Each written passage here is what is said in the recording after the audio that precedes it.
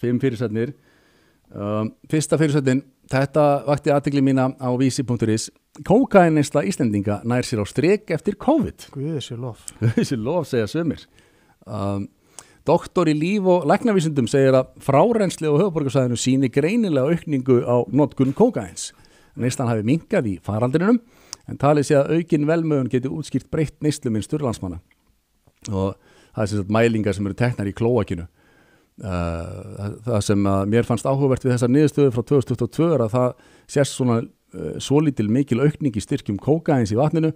Við tókum síni í lok fyrstu bylgi í COVID og þá sáum við lækkun á styrkjum kókains og svo verið sem þetta sé að hækka aftur eftir það. Þannig að þetta bendir til þess að COVID hafi haft einhver, einhver áhrif á neyslu kókains í samfélaginu og maður sér þetta svona aftur á leiðinu upp.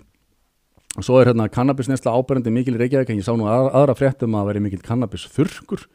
Sástu það? Nei, Nei, uh, en hérna, uh, þetta eru svona sveiflur og, og það er hægt að mæla eins og við segjum velmegun Íslendinga í kókainneslinni, það er mikið notað þegar það gengur vel en minna þegar það kreppir að. já, já, það er komin takmarkun og vera að flytja Já. minna inn og Já, svona það er alltaf verið erfitt að flytja inn þegar það var hérna, allar flugvilar Já. tómar og, og bara engar flugferði til landsins. Já, Það var, hérna, en núna er þetta búið að taka við sér aftur, þrátt fyrir að það hefur nú verið bösta eitt stærsta kókainmál Íslandsöðuna, var það ekki í fyrra, hérna, 100 kíló. En um, við uh, neytendur kókains hef ég þetta að segja auðvitað að hérna, þetta er uh, mörgum fænst þetta gaman fyrst um sinn en svo fer þetta yfirleitt allt til fjandans og það er nú betra bara að styrta það svona í klósetið út í klóikið heldur en upp í nefðu á sér. kannski það ástæðan fyrir að mældist meira að því fólk er að Fólki- styrta sér niður í klósiti Kanski það þegar fólk hefur verið að hlusta á já. og átta sig á því að þetta sé bölvu villisa. Við erum að tala hér af reynslu. En það var líka önnur frétt þessu tengt sem að, eða svona ekki óbeint, það eru hérna ungir aðtapnamenn sem að hafa ákveðið að flytja inn vöru sem að eh. En þeir Kristinn Ingvarsson og Andri Einarsson stopnaðu dögunum fyrirtækið Varlega sem flytur inn og selur vímuöfnapróf um að ræða skadaminkandi úrræði sem þeir vilja sjá á skemmtistöðum og í verslunum. Þeir fá ekki að selja vöruna í gegnum greiðslumilunum fyrirtæki vegna tengsla við ólögleg vímuöfni.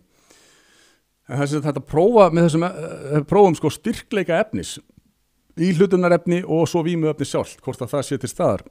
Og þetta er náttúrulega, ég veit að það eru margir sem að starfa í þessum bransa við að uh, selja og finna út fíknefni sem að getur notað þetta að styrk, hérna, aðtöða hver styrkurinn er á efninu hverju sinni sko. Já, Það eru ekki viljað hafa svona í gamla dag einhvern tímann, jú, eða bara, þú veist svona vita hvað þetta taka inn. Já, líka sko upp á það að mann sé ekki að fá eitthvað viðbjóð Já. með sem að er mann bara talsett algengt í Já. þessu alls konar bara jafnvel rottu eitur sem er búið að blanda út í þetta fentanil já, Já. En það er hugsunin með þessu þetta Já. er að hérna, er svona skadamingandi að, að þeir sem eru í uh, uh, þessum víta ring daglegri neyslu að þeir Já. geti aðtúað betur hvað þeir eru að setja ofan í sig hverju sinni og, og forðast það að vera taka inn já, eitthvað bannvænt eitur Já, þetta er náttúrulega algjört eitur allt saman en uh, það er verra þegar það er bannvænt reynilega.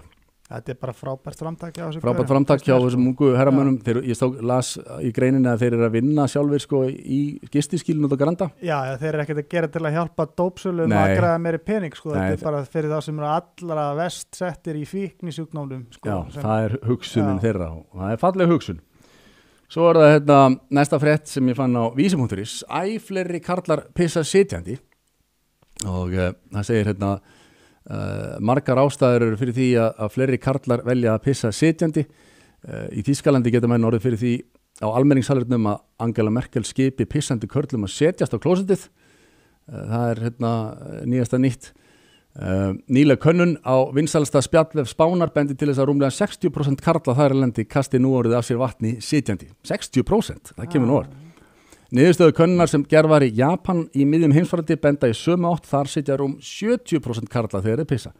Það er líka þægilegt að Japanir eru með svona klósett sem að reynsa sér sjálf. alveg klóst Já, og það bara, hérna, hann fyrir róbótinn bara af stað þegar leið og búin að stendur upp og, og þrýfur klóstið almennilega, þannig að þá er það sjálfsagt að En þetta er einmitt það sem ég hef verið að tala fyrir og þegar ég var á sjónum þá var ég mikið að reyna að fá skipsfélaga mína til þess að, að að veist, það er hvergi betra en uh, sko út á sjó að pissa sitjandi því að uh, þegar þú ert að reyna veist, stendur þarna skipið er alltaf flegi ferð og það, er bara, veist, það fer allt út um allt sko.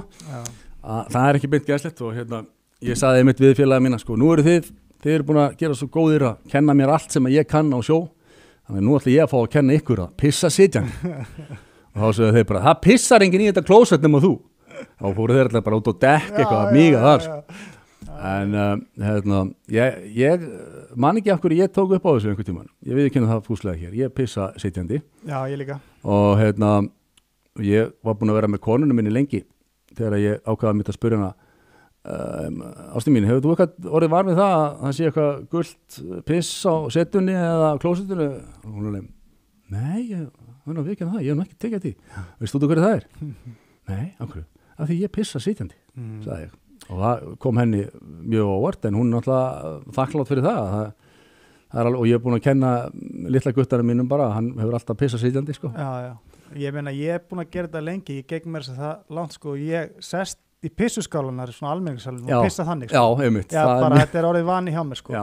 Að, En þetta er líka þessuna, þessi umræða um kynjamert klósett já, það hefur verið mikið rifist um það allt saman ég hef verið að reyna að koma þeirri hugmynd að að, hérna, að við, ok, hættum að kynjamerkja klósettin og höfum bara veist, eitt klósett fyrir sitjandi og eitt Já. annað klósett fyrir standandi já, já, því að ég, hérna, ég reyni yfirleitt, að smigla mér yfirleitt á kvenna klósettin af því að veist, þau eru snirtilegri Mm. og ég kýsa uh, pissa sitjandi- sitjandi já, Þannig ég vil helst sko vera að pissa einhverstaðar annar staðar heldur en það sem að kallar standa og, og spreða úr delanum yfir klósetið sko. já, maður sest aldrei niður á almenningsklósitinu og jafnvel þegar ef mann lendir í að þurfa að gera nummer tvö Nei, sko og svona maður bara- skotta maður Já, bara, skotta veist, bara. bara snert ekki hana viðbjóð sko En, hérna, en þetta, þetta er hérna, mikið laust á sko, mörgum vandamálum. já, Bara að pissa sitjandi og gleyma sér á dollunni aðeins. ég held að ástæðan fyrir aukni, aukningunni sé Mhm. símanir Já, það sé staðisti faktorin í þessu sko já, það er erfiðar að vera já, á já. Instagram og svona meðan þú ert að standa hérna með, og með aðra höndina á, á tólinu sko. og algjörlega það er betra að geta verið bara svona hérna og skrolla sko. Sko, einu skipti sem ég fæ frí er líka þegar ég er á klósitinu Já, og oft fæ ég ekki einu frí Mhm. þá sko. það er einmitt smá vesen það er, það er erfitt að læsa hurðinni heima ég minni bara búin að læra að opna hana Já, þannig að það er engin friður sko. Já, Þannig að hérna, en, en í þessi fáskipti sem maður fær frið þá er gott að sitja Já. á leys Við mælum með þessu hér í Harmageddon